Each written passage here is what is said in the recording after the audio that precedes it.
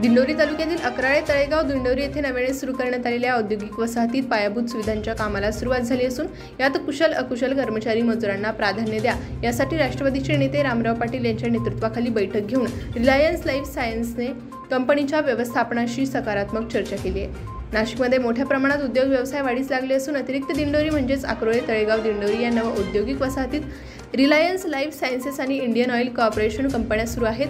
वर्षभराच्या काळात अजून एकोणतीस उद्योगांना औद्योगिक वसाहतीनं येथे भूखंड उपलब्ध करून दिले असून एकूण पाच हजार सातशे कोटींची गुंतवणूक येथे होते ज्यातून चार हजार एकशे शहाण्णव रोजगार उपलब्ध होणार आहे.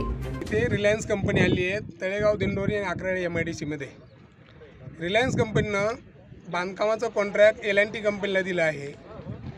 एल एन टी कंपनी बाहेरचे ठेकेदार आणते आहे. तर आमचं एल एन टी कंपनीला आज आम्ही निवेदन देण्यासाठी आलो आहोत. की एल एन टी कंपनीनं आमच्या दोन्ही गावच्या लोकांना पात्रतेप्रमाणे आम्हाला काम द्या. आम्हाला सप्लायचं काम तर आम्हालाच मिळालं पाहिजे.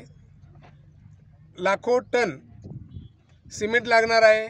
लाखो ब्रास मटेरियल लागणार आहे. त्याचं सप्लायचं काम दोन्ही गावच्या समितीला मिळालं पाहिजे. त्याचप्रमाणे इथले बेरोजगारांच्या हाताला काम मिळालं पाहिजे. आमचे जेवढी बेरोजगार मंडळी आहे यांना काम मिळालं पाहिजे. आमच्याकडे मशिनरी आहेत. दोन्ही गावामध्ये पोकलंड आहे जे सी बी आहे डंपर आहेत. त्यांना काम मिळालं पाहिजे.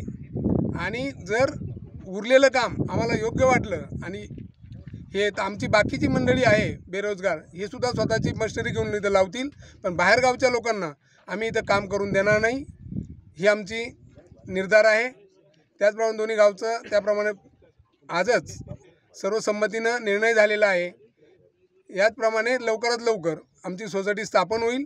त्या सोसायटीमध्ये दोन्ही गावचे लोक असतील त्या सोसायटीला ते काम दिल्या जाईल.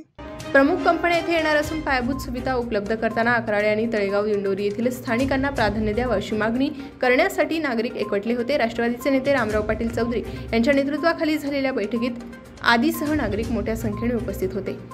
नाशिक लोकशाही न्यूजसाठी सुखदेव खुर्दळ दिंडोरी.